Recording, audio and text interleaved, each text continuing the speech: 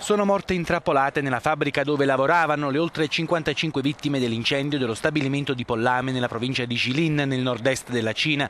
Le autorità temono che il bilancio possa aumentare perché dei 300 allevatori presenti in quel momento all'interno dell'edificio non è ancora chiaro quanti ne mancano all'appello.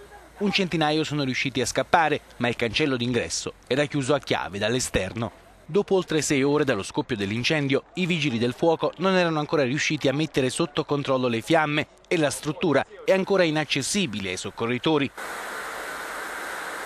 Incerte le cause del rogo che secondo alcuni testimoni si è sviluppato dopo un'esplosione causata probabilmente da una perdita di ammoniaca liquida.